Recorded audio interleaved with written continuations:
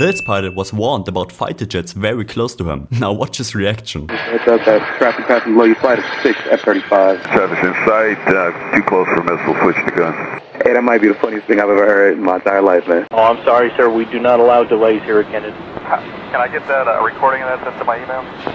It'll probably be on YouTube tomorrow. Not an emergency? Negative. No, we have an engine failure, but not an emergency. Not an emergency. Okay, just so an engine failure, but you're not an emergency. Are you over overweight landing? They want to know. Not at all. No, not even that. Not even that. No. All right. The emergency equipment is standing by. Are be doing needed one in front of us? Uh, yeah, company about three out. Okay. Unless you do warp seven, you're good. You're not going to catch it. You got a loud hum behind your uh, radio. Probably the empty echo of my brain. All right, that one was better.